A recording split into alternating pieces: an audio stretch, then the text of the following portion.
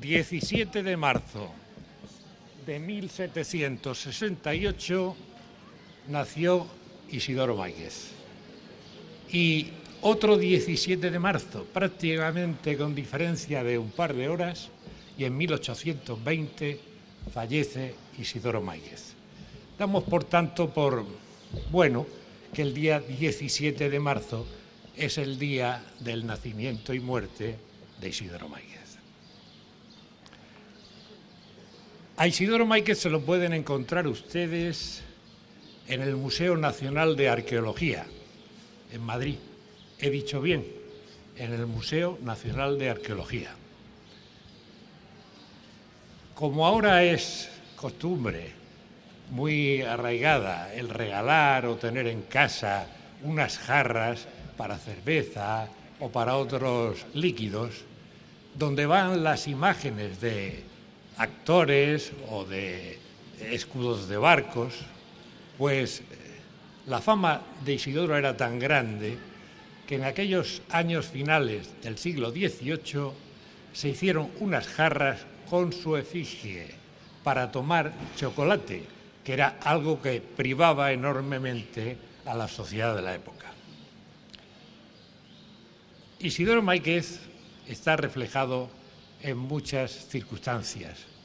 Está reflejado por Benito Pérez Galdós en uno de sus episodios nacionales, el que hace de hilo conductor y que se llama La familia de Carlos IV. Muy importante, tenía por tanto que ser. Isidoro Máquez salió de Cartagena, joven, para vivir el teatro algo que era impresionante para él. Pero de esa semblanza se ocupará más adelante Jaime. Isidoro, además, es un hombre que va alcanzando con sus eh, estudios que hace en Francia, va alcanzando unas metas cada vez más elevadas hasta ser considerado el mejor actor y gran renovador de la escena española. No es raro si tienen ocasión alguna vez de leer algunos de los ejemplares de la prensa de los primeros años de 1800, como Isidoro Máquez aparece no solamente reflejado como actor, sino en lo que ahora podríamos llamar ecos de sociedad, paseando con, hablando cual. Isidoro Máquez es alguien que dejó una impronta muy fuerte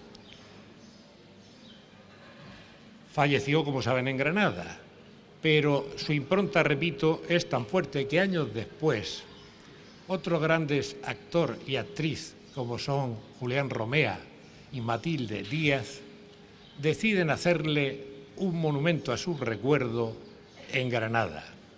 Y estos excelentes murcianos no solamente tienen la idea, sino que la realizan. Y le hacen un novelisco alto, muy interesante que sitúan en 1836 en una zona que se llama El Campillo. Años después, hacia 1856, este monumento es trasladado al cementerio de Granada, donde ellos suponían, en la zona que ellos suponían que estaba enterrado Máquez, cosa que no se ha llegado a saber nunca exactamente cuál era el sitio. Y allí permanece hasta 1920, en que es nuevamente trasladado el monumento a las orillas del Genil. No termina ahí. En 1942 el monumento se traslada a la plaza del Padre Suárez, en un sitio céntrico, clásico de Granada, y allí es donde se puede seguir viendo. Es muy sencillo, es una columna alta en piedra que lleva como una venda que va alrededor subiendo hacia un pequeño eh, túbulo cinerario. Y en esa, en esa banda van grabadas los títulos de las obras más representativas y más conocidas que interpretó Isidoro. Y al final dice, Gloria al genio. y es que realmente fue un gran genio. En Cartagena estaba relativamente olvidada de su memoria hasta que en 1879 se inaugura un nuevo teatro y a ese teatro se le pone el nombre de Isidoro Máiguez.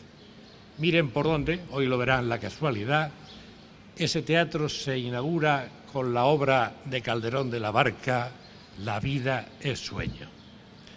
Y ya, pasando más años, en 1927 y en el centro de esta bella plaza se eleva el monumento que estamos viendo. Es un monumento eh, en pose declamatoria, muy curioso.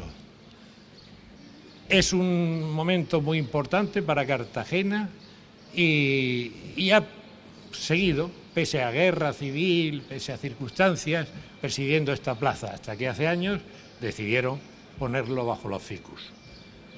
También en esos tiempos hemos tenido una manera de recordar a Isidoro, como fue la creación del Teatro de Cámara y Ensayo Isidoro Máiquez.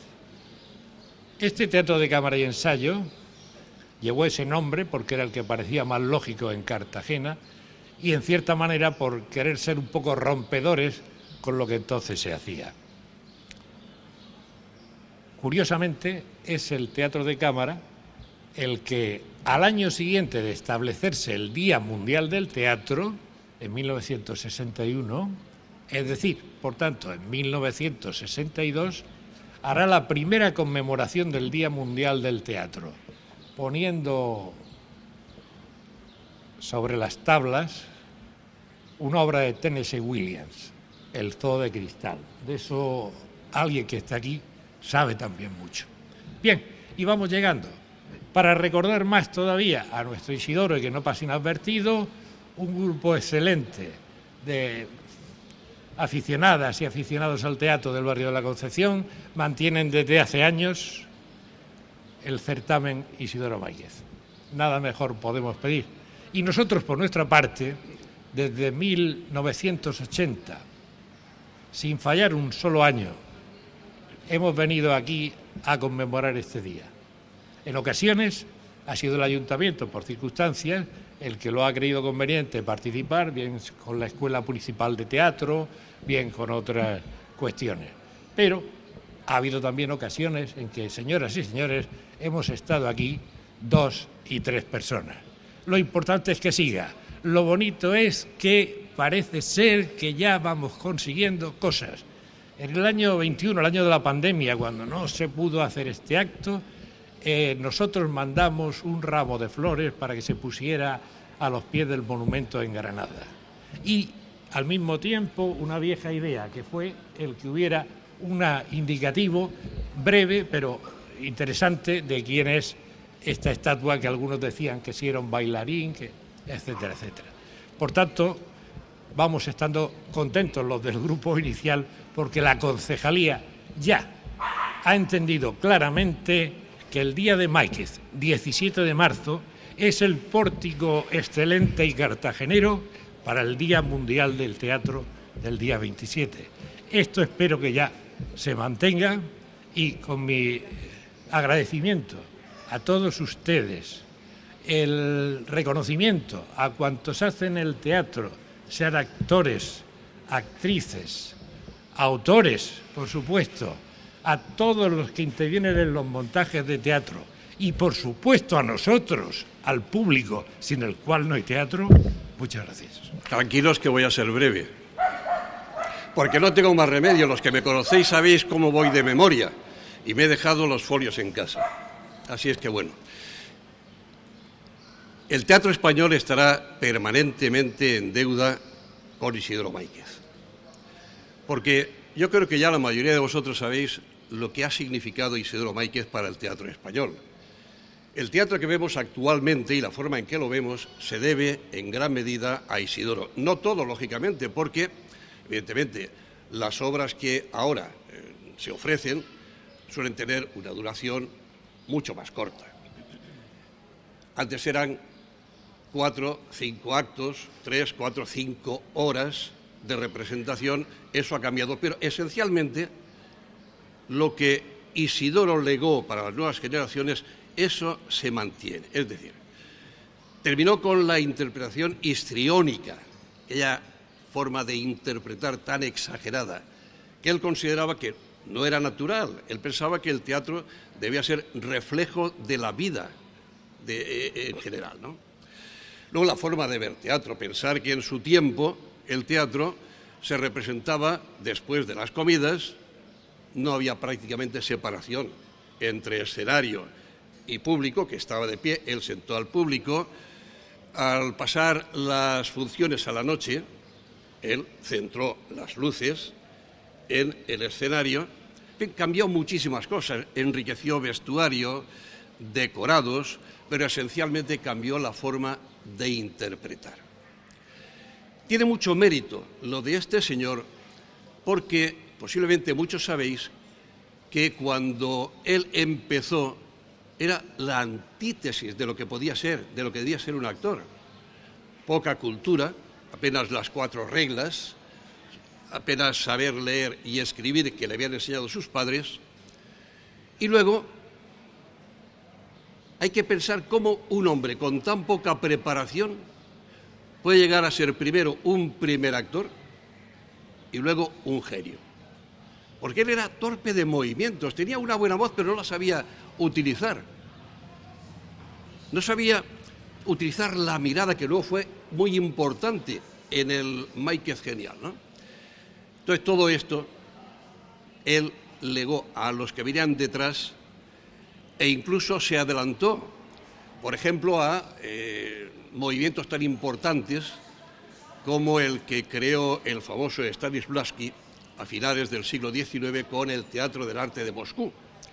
Muchas de las enseñanzas que allí se impartían, ya no digo que las copiaran de él, pero él ya las ponía en práctica, porque en aquellos años, en los años de Máiquez, todavía no existía la figura del director. El director era generalmente el primer actor y en ocasiones el autor de la obra.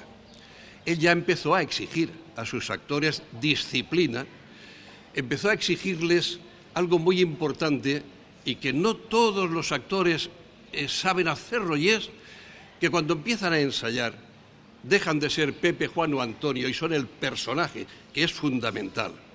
Él exigía concentración, pero también, siendo muy exigente con sus actores, era el primer valedor, el primer defensor de los derechos de los actores.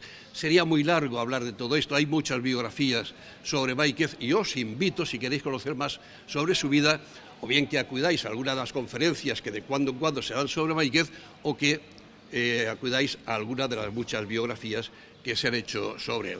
No quiero extenderme más. Sí eh, terminar eh, alegrándome de ver que cada día somos más esto empezó con uno solo. Y tengo que decirlo, es un señor que siempre escapa de protagonismos.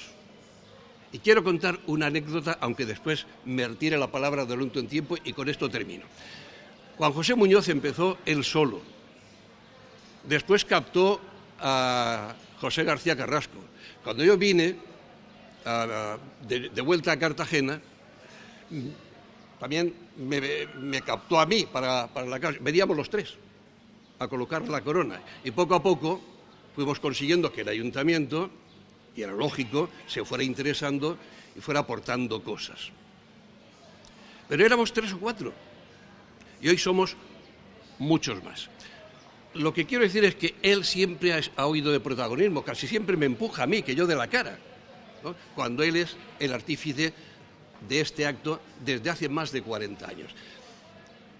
La anécdota es que hace ya unos 12, 14, 15 años, no recuerdo muy bien, un amigo que está allí me dice, Jaime, quiero darle el premio de teatro de este año de la Escuela Municipal de Teatro a nuestro amigo Juanjo, pero conociéndole estoy seguro de que no va a querer venir, se va de vieja, esto no aparece.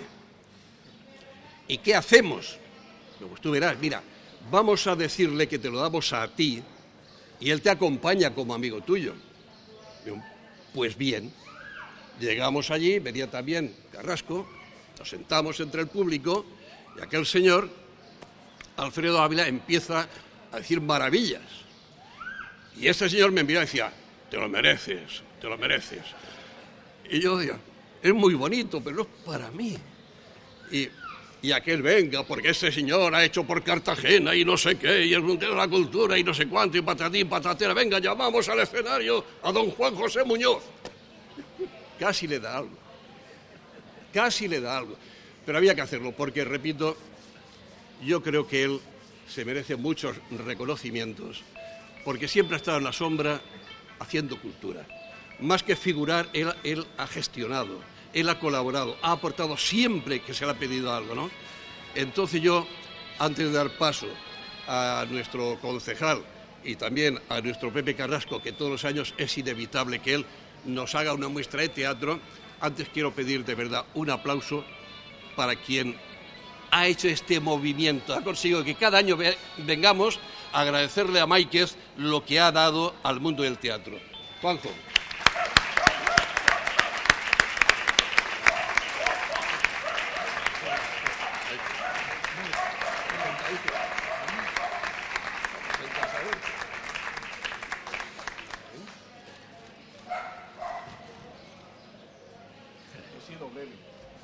Pasé un mal rato eh, aquella noche, honradamente, y lo estoy volviendo a pasar ahora. Mientras se prepara nuestro primer actor, Pepe Carrasco, ha elegido algo muy importante para él, porque él es un magnífico actor de larguísimo recorrido, de todo tipo de teatro y además es director. Entonces pensó en hacer una breve intervención. Siempre hacemos algo así para que sea realmente teatral. Y nadie con más de desvergüenza que Pepe García Carrasco para hacerlo. Los demás siempre tenemos un poquito de aquel. Hoy no va a actuar con máscaras, pero nos va a hacer algo muy importante. Antes decía que el Máiquez fue inaugurado en 1879 con la obra de Pedro Calderón de la Barca La vida es sueño. Y miren por dónde hoy nos va a interpretar un trocito de La vida es sueño. Con ustedes, y espero que haga la introducción de la obra el mismo, José García Carrasco.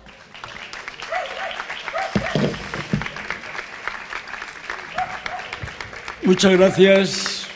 Muchas gracias, buenos días, encantado de estar aquí y encantado de que todos ustedes vayan a aguantarme un poquito. Eh, de la obra de Calderón de la Barca, La vida es sueño, eh, hay este pasaje que mm, relata que Basilio, rey de Polonia, temiendo que su hijo Segismundo fuera vencido, derrotado y destronado, mandó encerrar a este en una torre nada más nacer. En el presente poema se lamenta de su falta de libertad.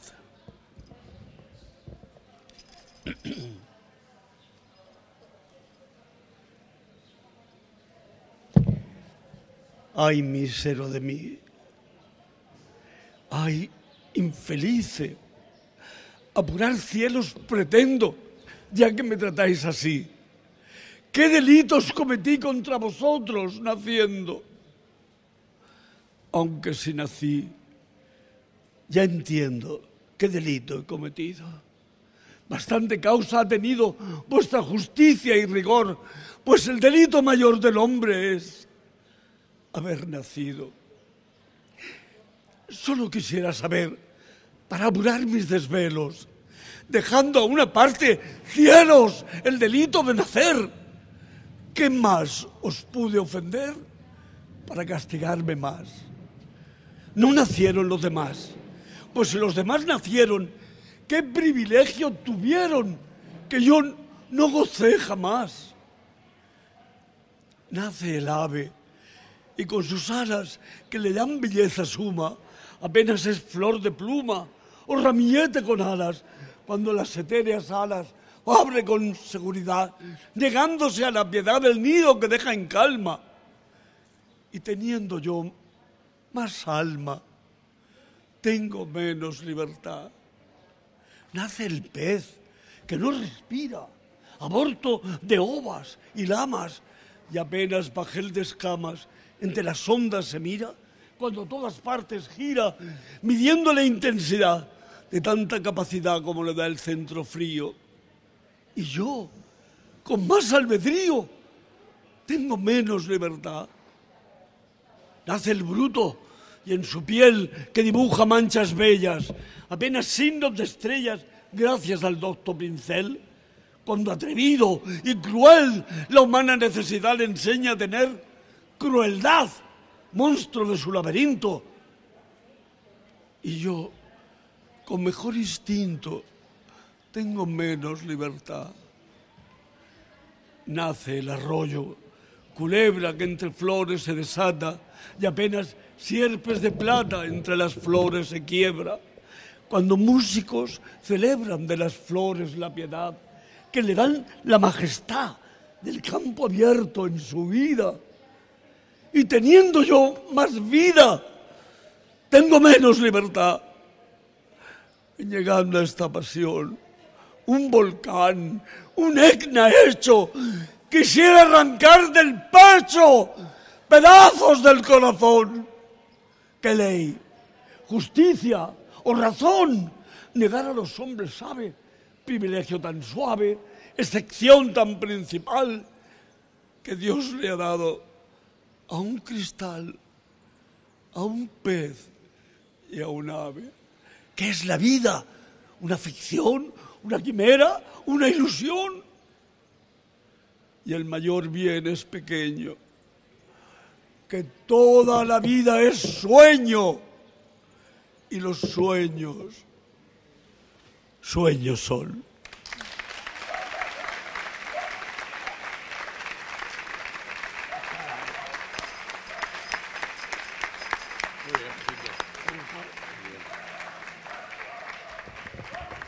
Bueno, pues ya estamos terminando. El concejal del área de, cultura, Eduardo Martínez Noguera, va a clausurar el acto y posteriormente... Eh, David, David. ¿Yo qué he dicho? David, Eduardo, David, David. ¿Yo he dicho Eduardo? Sí, no pasa nada. Perdonar, el que avisa no es traidor. Empecé diciendo que la memoria me la dejo muchas veces en casa. David, por Dios, claro que sí. Vamos, las de aventuras que hemos corrido juntos. Perdona, David, perdona. Que tengo... Bueno, él va a clausurar el acto. Estabais riendo por eso, ¿eh? Anda que ya os vale. Aquí hay mucha, mucha calidad, porque veo caras del mundo del teatro que la verdad que hacen felices a los que van a verlos. Y me gustaría que se conociera todo lo que se hace porque merece la pena. ¿Sabéis que Cartagena tiene treinta y tantos grupos de teatro? No todos ejercen a diario, ni mucho menos. Y les falta también lo más importante, el euro que... Pero son muy buenos y hay que apoyarlos. Esto muy... ¿Por qué me estoy liando tanto? A ver, no, es que no me dejáis, vosotros me liáis, sois vosotros. Bueno, él va a clausurar el acto y luego él con Juan José Muñoz colocarán la corona de laurel. No nos olvidemos de que es eh, realmente eh, muy importante lo, lo, que va a cerrar el acto. Así es que, don David Martínez Noguera, cuando quieras. Muchas gracias, Jaime, aunque yo creo que habéis contado muy bien por qué estamos aquí esta mañana y por qué este 17 de marzo, otro año más, nos, unimos, porque cuando me contaron que ellos venían a, hacer este acto, lo que quisimos desde la Concejalía de Cultura es unirnos y sumarnos a este acto con la gente que ama a este magnífico arte y para rendir homenaje al gran Isidoro Máiquez. Y a partir de ahí, otra cosa que nos pidieron y que cogimos el testigo era que este día 17 comenzaran los actos del Día Mundial del Teatro. Así que hoy vamos a aprovechar para presentar la programación que hemos realizado y que comenzamos hoy y que llegará hasta el 30 de marzo de este Día Mundial del Teatro que, como sabéis, se celebra el 27 de marzo. Un programa que realizamos no solo desde la Concejalía de Cultura, sino con la colaboración de la Escuela de Teatro, de los espacios de representación del sector teatral del municipio y de la región, que nació en su momento con la plataforma Artes Escénicas, ahora se une a la Comisión de Artes Escénicas, y que el objetivo principal es promover el teatro en todas sus formas en Cartagena y en todo el mundo, porque es un acto que se hace en todo el mundo. Concienciar a la gente del valor que tiene el teatro y permitir que las comunidades teatrales promuevan su trabajo a gran escala y compartir esa alegría también por el teatro con la ciudadanía. Es un día que se celebra desde 1962, que ese, día comenzaba la temporada en un legendario teatro parisino, de nombre especialmente simbólico, el Teatro de las Naciones, y en su primera celebración en 1962 fue el poeta, dramaturgo y cineasta francés Jean Cocteau quien pronunció ese famoso mensaje internacional del Día Mundial del Teatro. Y aquí en Cartagena, todos los años, se elige también a una persona importante del teatro para que lea ese manifiesto. Ese manifiesto este año lo ha hecho, lo realiza la actriz egipcia Samija Ayub. Es fruto, como digo, de eh, se, elige un personaje a nivel internacional y en Cartagena hemos elegido este año a Jaime Cross. Jaime Cross, que todos lo conocéis, que además ha recibido el premio de las artes escénicas que otorgamos desde la Concejalía de Cultura, pero que es elegido por la Comisión de, Artes Escénicas del Consejo de Cultura y por el jurado, que creíamos importante darle ese premio a Jaime. Y eh, se leerá, como todos los años, el día 27 en el Teatro Romano y al que estáis invitados. Pero además, con la Escuela Municipal de Teatro y también con la Escuela de Arte Dramático de Murcia, la ESAT, eh, se han realizado otras actividades que, vamos a, que voy a comenzar a decir. Comenzaremos el martes, bueno, hemos comenzado ya hoy, 17 de marzo, con este acto y luego continuaremos el martes 21 de marzo con la representación de Bodas de Sangre del gran Federico García Lorca, que los que me conocéis sabéis que es mi preferido, y que interpretarán eh, los alumnos y alumnas de la Escuela de Arte Dramático en el Centro Cultural Ramón Alonso Luci. Continuaremos el 25 de marzo con una clase abierta de teatro en esta misma plaza, organizada por la Escuela Municipal de Teatro, y por la tarde realizaremos un cuentacuentos en el polígono de Santa Ana con el en el escenario del Remolino y que se llama En busca de mi historia. El domingo 26 tendremos la lectura dramatizada, que es típica ya, que realizan también desde la Escuela de Teatro en diferentes puntos de la ciudad. Y a las doce y media leeremos el manifiesto, también aquí terminaremos en la Plaza San Francisco leyendo ese manifiesto. Continuaremos con otro cuentacuentos, también que, como he dicho, eh, llevaremos a diferentes lugares, a diferentes barrios, eh, y será, perdón, en Los Juncos, que estaba viendo aquí el, lugar, en Los Juncos, ese domingo por la tarde eh, en el parque que estamos haciendo diferentes actividades infantiles. Y el lunes 27, como he dicho, en el Teatro Romano leeremos el manifiesto a cargo este año de Jaime Cross. Y terminaremos el jueves 30 con un concurso de improvisación teatral, una masterclass de alumnos, con los alumnos de la Escuela Municipal de Teatro en el Centro Cultural Ramón Alonso Luci. Bueno, otro año más ponemos en marcha este programa y quiero agradecer a todas las personas de la Concejalía de Cultura que lo hacen posible, que me acompaña esta mañana, a Fulgencia Plazas, a Chenchi, a Jorge de Juan, que está también por aquí, y a, la que nos lleva siempre con toda la organización y que lo ha hecho todo perfecto, que es Ana Maruenda, que también es un amante del teatro que nos ha ayudado con todo. Creo que no me he dejado a nadie, eh, desde la Concejalía de Cultura otro año más, deseando comenzar estos actos. Y sin más, pues muchas gracias por asistir a todas las personas que amáis al teatro y que estéis aquí esta mañana. Como ha dicho Jaime, hay compañías y grupos de teatro en Cartagena, muchos, muy buenos, y estamos intentando en los últimos años colaborar con ellos y hacer que, se pueda, que puedan seguir con esa actividad que realizan y intentaremos este año, como no, continuar en ese camino que estamos eh, y haciendo esos circuitos de teatro que hacemos, esas ayudas que le, que le damos a las compañías y bueno, continuar con esa ayuda al mundo del teatro que se lo merece. Y además se me olvidaba algo también muy importante, que lo han comentado antes, pero quiero decir las fechas. También además por primera vez del 24 al 30, si no lo digo mal, ¿verdad Nati? Del 24 al 30 de abril vamos a realizar el certamen de Isidoro Máiquez, que como saben organizan las compañeras del grupo de teatro Algameca, en el Teatro Circo. Es una cosa que ellas querían, que ellas solicitaron. Ya en su momento creamos las estatuillas de Isidoro Máiquez, que es el premio que ellas dan que es una maravilla, igual que están los Oscars, pues tenemos la estatuilla de Máiquez en Cartagena, que debería estar en, otro, en otros premios incluso a nivel nacional o internacionales por lo que significó Isidoro, pero que lo tenemos en Cartagena y que este año por primera vez lo vamos a hacer en el Teatro Circo. Así que muchas gracias y nos vemos en el teatro. Muchas gracias a todos.